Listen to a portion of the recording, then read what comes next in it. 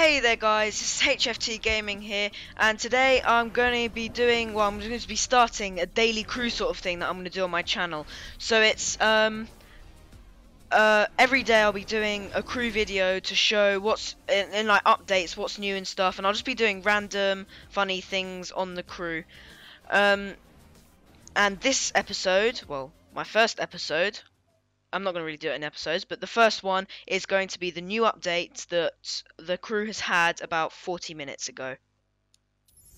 So as you can see here, a new practice mode has been added for the three extreme specs, and so it's like a summit event, so you can practice for the summit and do really well.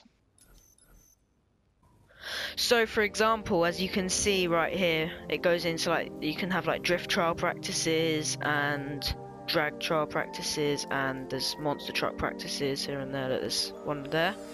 Um, so this is practicing for the summit event, so you can get up to practice and get a good score. As you can see, I haven't done it yet.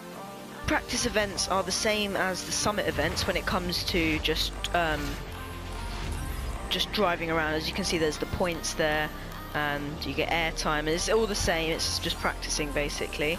Now, new things with the monster truck driving is that when you get a perfect landing, it's now times three, um, your combo, instead of times two, it was before. When you get an, a good landing, it's still 1.5, but when you get a bad landing like that, it's now times one. So that's changed. The bad landing has gone down, and the good landing score, good landing multiplier has gone up. So that's new. Um, other than that, nothing's changed with the monster truck driving. Also, as you can see, when you finish a practice event, um, you actually get a part um, which can add to your add to your level of your current vehicle, and also you get 2,000 bucks every time you finish a practice. So even though it's a practice and you don't get any scores for any summit and you can do them anytime without needing any qualifiers or medals in any other summit events.